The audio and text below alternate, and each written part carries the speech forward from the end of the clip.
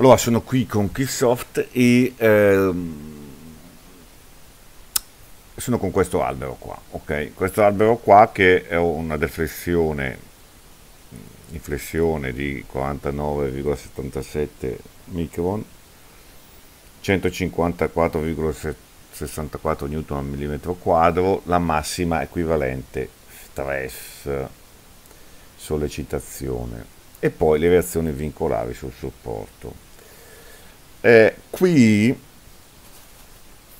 ehm, per avere altri dati dovrò poi andare a fare le eh, cliccare sulle cross section quello che se io vado qui uh, language italian sulle sezioni cross section sezioni. Ok ehm, però io posso anche senza fare questo, già vedere con i grafici. E dunque vado qua in grafica. Ok dunque vado su albero e qui posso vedere la deformazione. Vediamo se faccio riandare gli esegui. E dunque sono qua. Ok e dunque nella deformazione nella linea elastica vi chiamo deformazione vabbè nella linea, nel, di come si piega l'albero, eh, il punto massimo ce l'abbiamo qua, più o meno qui.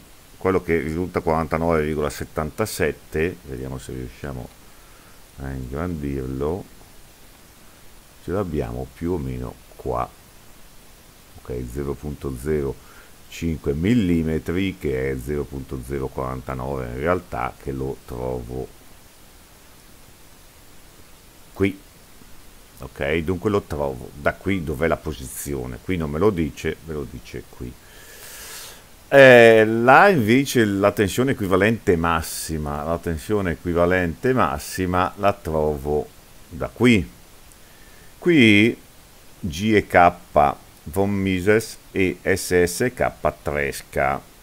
L'altra cosa da tenersi nelle tensioni nominali senza considera considerare la concentrazione di tensione, dunque gli effetti in taglio, non ho considerato, non considera se la linguetta e così via.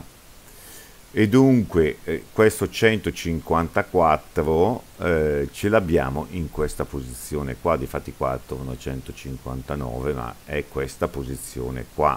Poi naturalmente come al solito io posso andare a vedere eh, il von Mises e il Tresca, dunque se io vado a cancellare qua, questo qua è il von Mises e ce l'ho qui che è tra il cuscinetto, molto vicino al cuscinetto, sulla battuta qui, qui.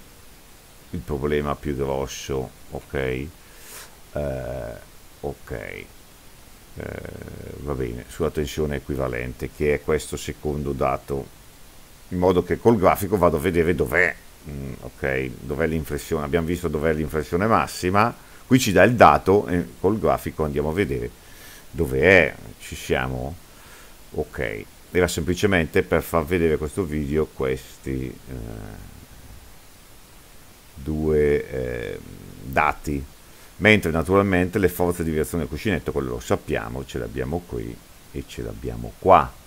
Eh, anche se andamento della forza della resistenza non ce l'abbiamo qui, non ce l'abbiamo.